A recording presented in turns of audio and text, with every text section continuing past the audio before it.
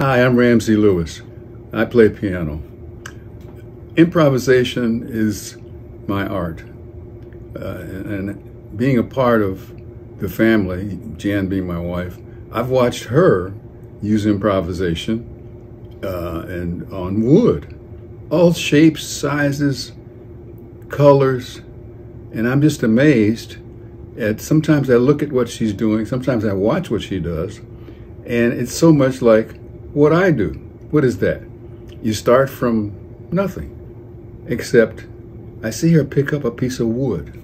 Nothing's on the wood except whatever little designs or lines or whatever is ingrained in the wood. And she starts. Not unlike what I do at the piano when somebody gives me some chords and they say play something.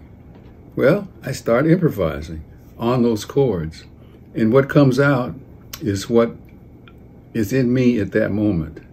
And I am just blown away with what comes out, if you will, in Jan at the moments that she picks up a bowl with nothing but what the bowl is made of, picks up a bracelet, picks up all pieces of all sizes and pieces of wood.